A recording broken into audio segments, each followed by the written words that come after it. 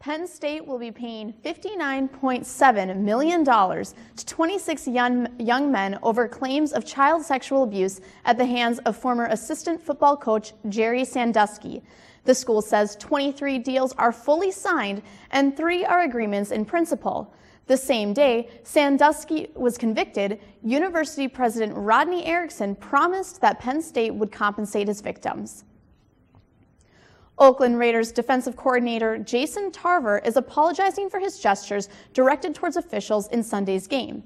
Tarver flipped a middle finger at the officials after a personal foul was called on cornerback Mike Jenkins. Raiders, Raiders owner Mark Davis told ESPN that the team doesn't condone those actions and they'll handle it in-house.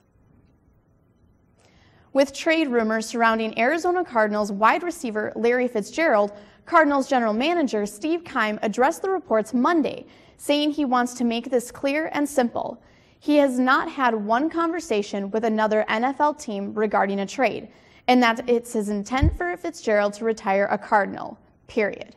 Fitzgerald is under contract until 2017. And that's a look at what's new in sports.